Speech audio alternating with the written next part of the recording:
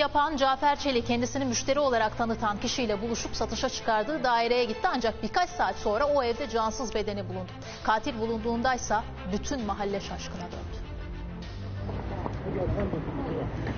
Şu anki duyduklarıma inanamıyorum yani. Şa- şaşkınım yani. Arkadaşıyla plan yaptı, müteahhit babasını satışa çıkardığı evde öldürdü. Üstelik başına çekiçle vurarak. Babanızı neden öldürdünüz?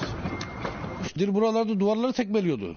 Babasının ölümüne isyan ediyordu yani. 63 yaşındaki Cafer Çelik oğullarıyla birlikte Beyoğlu Örnektepe'de müteahhitlik yapıyordu.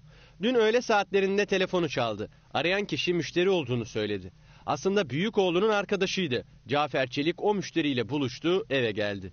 Müşteriyle giriyor. Bina satacağı müşteriyle giriyor. Ne olduysa o görüşmeden sonra oldu. Küçük oğlu babasını merak edip birkaç kez telefonla aradı ancak ulaşamadı. Ben dün burada saat 11'de dükkan açtım. Arabası buradaydı. Ortağı geldi bana sordu. Dedi Cafer abiyi gördün mü dedi.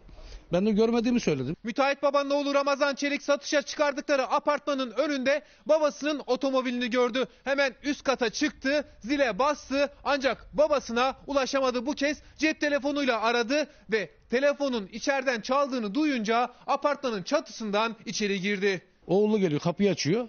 Bakıyor ki içeride yatıyor adam. Müteahhit baba satışa çıkardığı evin ortasında kanlar içindeydi. Sağlık ekipleri geldi ancak çok geçti. Olay yerine büyük oğlu Kadir Çelik'le beraber yakınları da geldi. Buralarda duvarları tekmeliyordu. Babasının ölümüne isyan ediyordu yani. İşte biz ona emekli ol dedik. Zaten hastasın. Kalp e, ameliyatı geçirmiş daha önce babaları.